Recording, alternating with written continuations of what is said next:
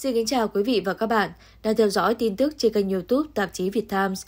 Bão Kanun tiến gần đảo Okinawa phía tây nam Nhật Bản trong ngày 1 tháng 8, tấn công khu vực này bằng gió mạnh, sóng lớn, khiến giao thông đình đốn và các cửa hàng đóng cửa. Tin bão mới nhất của cơ quan khí tượng Nhật Bản JMA cho biết, bão Kanun đang ở trên biển, phía đông nam đảo chính của Okinawa. Bão Kanun di chuyển chậm, đang hướng về phía tây bắc với tốc độ 20 km/h trong sáng ngày 1 tháng 8.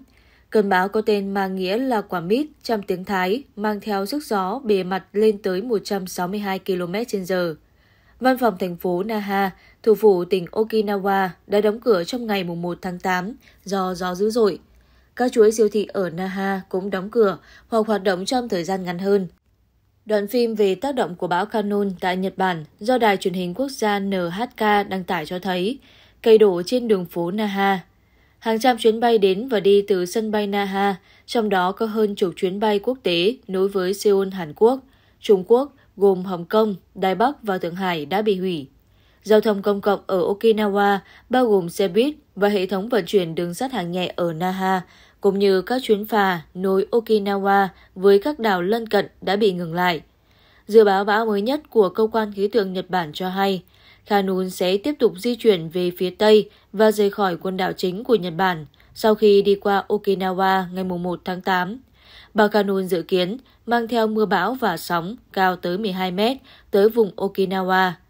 Theo cơ quan khí tượng Nhật Bản, lượng mưa có thể lên tới 180mm ở khu vực Okinawa trong vòng 24 giờ tới. Các quan chức cảnh báo cư dân về gió dữ dội và sóng lớn, cũng như lũ lụt, đồng thời kêu gọi họ ở trong nhà và tránh xa cửa sổ. Tin bão mới nhất của Trung tâm Cảnh báo Bão Liên hợp của quân đội Mỹ ở Hawaii cho hay, bão Kanun đang cách căn cứ quân sự lớn của Mỹ ở Okinawa, căn cứ không quân Kadena, khoảng 300 km.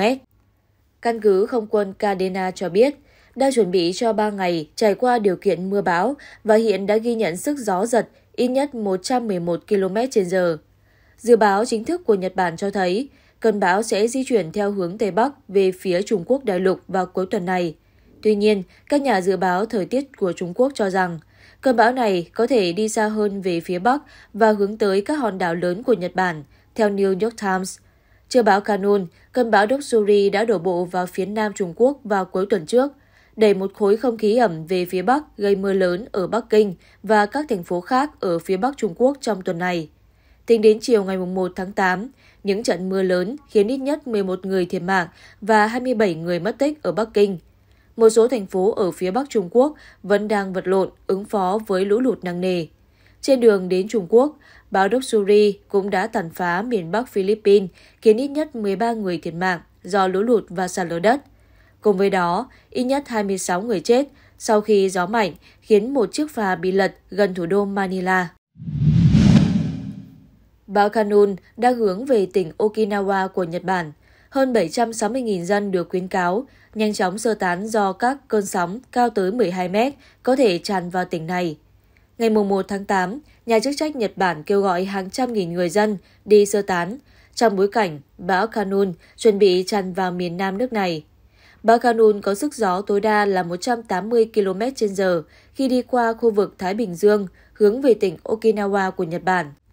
Cơ quan khí tượng Nhật Bản JMA cho biết, vào lúc 13 giờ Việt Nam, bão cách thủ phủ Naha của tỉnh Okinawa khoảng 170 km về phía đông nam.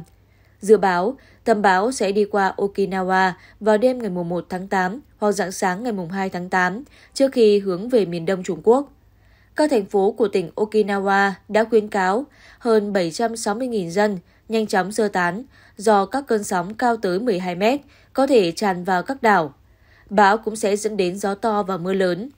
Theo đài truyền hình NHK, ước tính hơn 500 chuyến bay đã bị hủy trong ngày 1 tháng 8, trong khi các dịch vụ phà và xe buýt cũng tạm dừng hoạt động.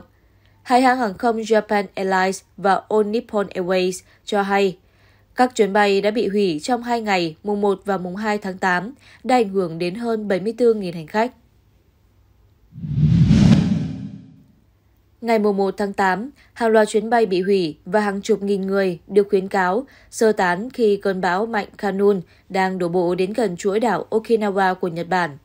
Trước đó, vào ngày 31 tháng 7, cơ quan khí tượng Nhật Bản JMA đã đưa ra cảnh báo gió to và sóng lớn tại khu vực Tây Nam nước này khi bão Kanun di chuyển theo hướng Bắc và nhiều khả năng sẽ đến tỉnh Okinawa vào ngày 2 tháng 8. Bão Kanun khiến nhiều chuyến bay đến và đi từ Okinawa bị hủy. Sân bay tại thành phố Naha, tỉnh Okinawa, nơi được dự báo sẽ chịu ảnh hưởng của cơn bão, đã phải đóng cửa trong ngày 1 tháng 8, sau khi tất cả các chuyến bay đến và đi từ khu vực này bị hủy, ảnh hưởng đến 30.000 hành khách. Ảnh hưởng của cơn bão Canon có thể kéo dài, do đó các hãng hàng không khuyến nghị hành khách đang có kế hoạch đến, đi từ các sân bay bị ảnh hưởng bởi cơn bão thường xuyên theo dõi, cập nhật tình hình thời tiết và thông tin. Cư dân trên một vùng rộng lớn của tỉnh Okinawa được khuyến cáo nên sơ tán khi cơn bão Kanun với dự báo gió giật lên đến 232 km/h di chuyển chậm về phía tây bắc và ít nhất 20.000 người bị ảnh hưởng chỉ riêng ở thành phố Naha. Đài phát thanh, truyền hình công cộng Nhật Bản NHK cho biết, lượng mưa ít nhất là 180mm sẽ đổ xuống vào trưa ngày 2 tháng 8, khi cơn bão có khả năng quét qua khu vực gần nhất. Theo cơ quan khí tượng Nhật Bản, bão Kanun cũng có khả năng sẽ đến đảo Amami, Oshima tại tỉnh Kagoshima của Nhật Bản. Đến 21 giờ cùng ngày, bão đang di chuyển theo hướng Bắc Tây Bắc tại khu vực phía nam của Nhật Bản với tốc độ 15 km/h và sức gió lên tới 216 km/h. Do bão Kanun sẽ mang theo mưa lớn, nên JMA đã yêu cầu người dân tại tỉnh Okinawa cảnh giác trước nguy cơ lở bùn và lũ lụt, đồng thời kêu gọi người dân nên ở nhà ngoại trừ trường hợp khẩn cấp. Trong khi cơn bão mới đang có những diễn biến phức tạp khiến Nhật Bản phải đưa ra nhiều cảnh báo, thì Trung Quốc vẫn đang phải gánh chịu những tác động mạnh mẽ từ cơn bão Doksuri.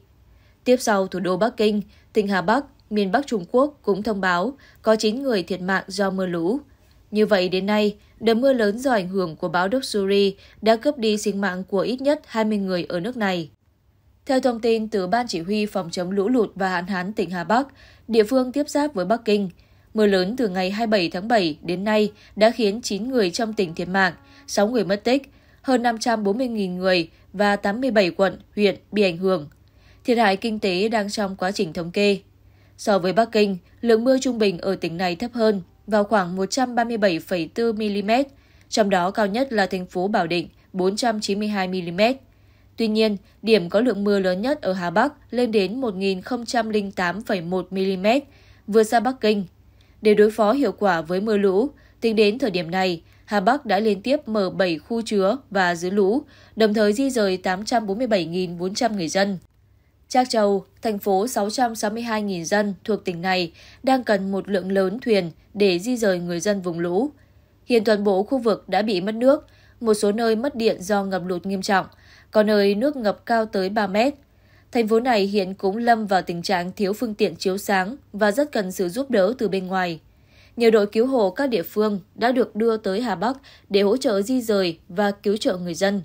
Trước đó, Bắc Kinh cũng thông báo có 11 người thiệt mạng vì mưa lũ. Lượng mưa cao nhất ghi nhận tại đây là hơn 700 mm, Vừa xa đợt lũ lịch sử cướp đi sinh mạng của 79 người vào tháng 7 năm 2012 là 541 mm và lượng mưa trung bình hàng năm của Bắc Kinh là 644 mm. Mặc dù mưa đã ngớt ở một số khu vực miền Bắc Trung Quốc, nhưng Đài khí tượng Trung ương nước này ngày 1 tháng 8 vẫn tiếp tục duy trì cảnh báo mưa lớn màu đỏ, mức nghiêm trọng nhất trong 4 cấp. Đây là lần đầu tiên sau 12 năm, Trung Quốc phải ban bố cảnh báo mưa lớn, mức cao nhất kể từ năm 2011.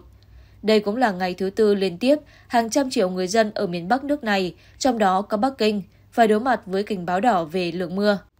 Mưa lớn gây lũ quét ở quận Môn Đầu Câu, Bắc Kinh, khiến nhiều xe ô tô bị nước lũ cuốn trôi. Nhiều tuyến phố ngập bùn sau khi nước lũ rút. Khi xảy ra mưa lớn, người dân Bắc Kinh đã được khuyến cáo không được ra khỏi nhà, trừ trường hợp bất khả kháng. Sáng ngày 1 tháng 8, quân đội Trung Quốc đã phải điều 4 máy bay trực thăng đến Môn Đầu Câu, một trong những khu vực bị ảnh hưởng nặng nề nhất, để thực hiện nhiệm vụ tiếp tế lương thực và cứu hộ. Do ảnh hưởng của mưa lũ, ba đoàn tàu đang bị mắc kẹt tại đây, giao thông đường bộ ở một số khu vực bị tắc nghẽn hoàn toàn. Theo đó, bốn chiếc trực thăng vận tải đã chở 26 sĩ quan và binh sĩ Trung Quốc đến ga tàu trên địa phận Môn Đầu Câu, thả đồ cứu hộ, gồm 1.900 mặt hàng thực phẩm, 900 chiếc áo mưa, 700 chiếc chăn và các vật dụng cần thiết khác, đồng thời vận chuyển những người bị bệnh từ các đoàn tàu bị mắc kẹt đến nơi an toàn. Đài phát thanh truyền hình Bắc Kinh cho biết, sau khi đỉnh lũ hình thành vào ngày 31 tháng 7, thành phố này đã phải lần đầu tiên sử dụng đến hồ chứa lũ được xây dựng vào năm 1998.